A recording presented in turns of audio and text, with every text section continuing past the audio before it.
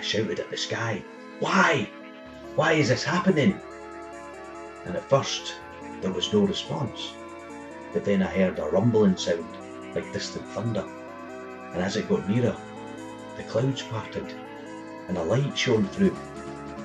And then through the gap in the clouds came a shooting star.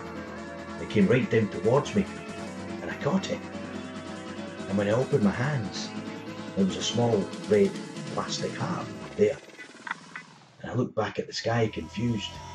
And when I looked back at my hands, there was a small, tiny little baby in my hands.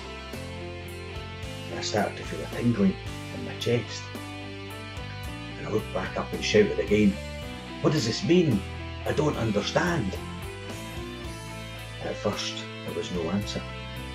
And I thought, I can't take this with me. What am I supposed to do with it?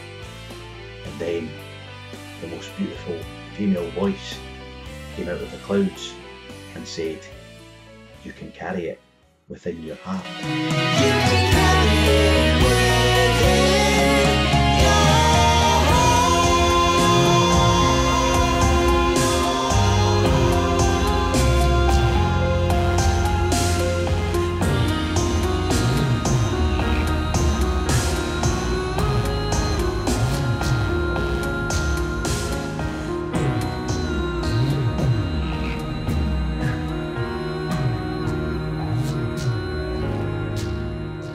Another thing I'd like to say about this song is that it is dedicated to a good friend of mine who sadly lost her battle to cancer a couple of years ago.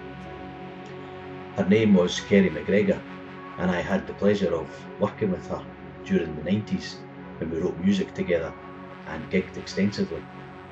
And although the material that we wrote was at the opposite end of the scale from Citizen Cain, it was techno dance music nice simple melodies and simple beats. It was nice to do something so different from my work with progressive rock at that time. So as a tribute to Kerry, this song has several elements from that style of music included in it. And the chord structure and melody of the Shooting Star Child is actually from a song that we played together back then. Then the haunting vocal melody right at the end of the breach is from a song that we wrote together, aptly named The Realm of Dreams. Then there's a section in song 5 where meeting with Kerry after she had passed away triggers a lucid dream for me. Because that's another one of these things, these advantages that lucid dreaming brings us. To be able to conjure up friends and relatives that have passed away. And I don't claim to know if these are actual spirits making contact from the other side but it is strangely comforting to talk again with a friend or to hear stories again from a grandparent that is no longer with us. And who knows, maybe dreams are a gateway between this world and whatever lies beyond. Thanks for watching.